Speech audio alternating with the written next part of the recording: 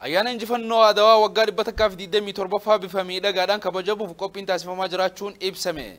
Injifannoo Adawaa biyya keenya qofa osoo hin tahin injifannoo uummattoota gurraachaa waan ta'eef bifa tokkummaa fi sabdaneessa biyya keenya agarsiisuu kabajuun barbaachisaa akka ta'e kantiibaan bulchiinsa Dirreedhaa obbo Kadir Johar ibsan. Bal'ina oduu kanaatiif Husseen Yaasin. Ayyaanni guyyaa injifannoo Aduwaa waggaa dhibba tokkoo fi digdamii fi torbaffaan bifa miidhagaa ta'een tokkummaa sabdaneessummaa biyya teenyaa bifa eeysiseen gurraan dhala 23 sadii bulchiinsa dirree dhawaatti kan kabajamu ta'u kantiibaan bulchiinsa dirree dhawaa obbo Kagiir Jawaar ibsanii jiran. Injifannoon Aduwaa injifannoo Itoophiyaanota qofaa odoo hin ta'in injifannoo Afrikaanota maraatii fi lammiiwwan gurraachaa waan ta'eef bifa kana calaqqisuun kabajamuun barbaachisaa ta'uu kantiibaan addeessanii jiran.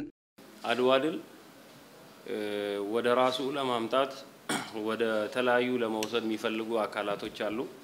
ammaan dura ayyaanichi bifa bittinnawaadhaan kabajama kunis sirna tureen wajjin wal qabsiisa ayyaanichi injifannoo biraatiif itti fayyadamuu dhabuutu mul'ata ture ayyaanni injifannoo adawaadha guyyaa ittiin kabajni biyya teenyaa gootota keenyaan ittiin eeggamedha gootonni keenya humna teeknooloojii wajjin deeggaramee meeshaalee gurguddaa qabaataa turan ittiin injifatanidha. Injifannoon aduwaadhaa abbummaadhaan kan raayyaa ittisa biyyaati. Abbaan injifannoo kanaa raayyaa ittisa biyyaa ta'uudhaas kantiibaan kaasanii jiran ayyaanichi bulchiinsa dirree dhawaattis maarshi baandiidhaan dabaalamuudhaan humni poolisii federaalaa humni qilleensaa poolisii bulchiinsaattis maarshi baandiidhaan dabaalamuudhaan addabaabaayii baabura lafoottii kan kabajamu ta'uu eeranii jiran. ድሬዳዋና አዲስ አበባ የፌዴራልም ስለሆነ Dirreedhawaa fi Finfinneetti humna qilleensaa raayyaa ittisaa poolisii federaalaa humna addaa bulchiinsaa poolisii bulchiinsaa maarshi baandiidhaan dabaalamuudhaan ayyaanichi bifa miidhagaadhaan addabaabaayii baabura lafootti ni kabajama.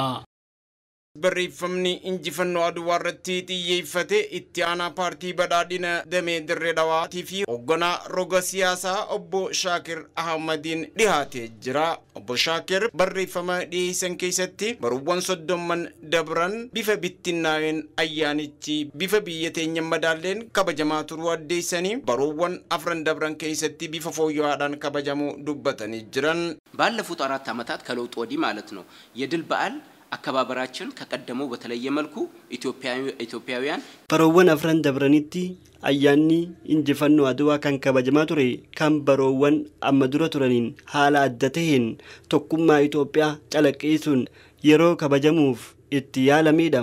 Ayyaanichi bifa abbummaan isaa haala ittiin hin beekamnee fi haala injifannoo biraatiif nama hin kakaasneen akka biyyoolessaattii fi Afrikaatti kabajamuu irratti hanqinootaatu jiru. Ayyaana aduwaa bara 2015 kana ammoo fooyyeessuun bifa miidhagaan kabajna.